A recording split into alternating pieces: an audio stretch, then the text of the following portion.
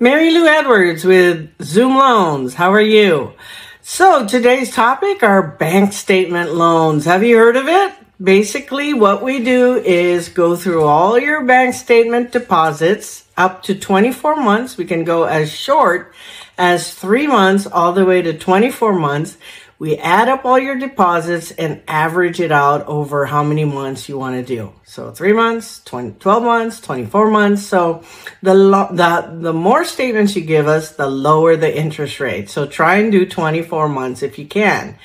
And so what we do is we add up all the deposits and divide by two. So we have a 50% expense factor.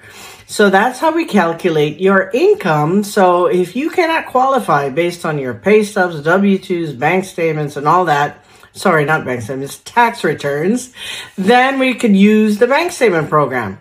And if that doesn't work, we also have a no doc program.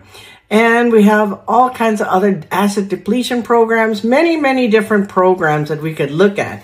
So if you're interested in the bank statement programs, the only thing we need is 10% down, which is the best deal out there.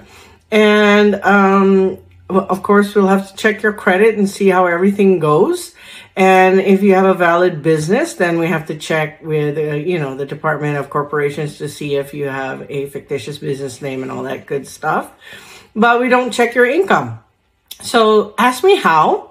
925 285 5333. Thank you.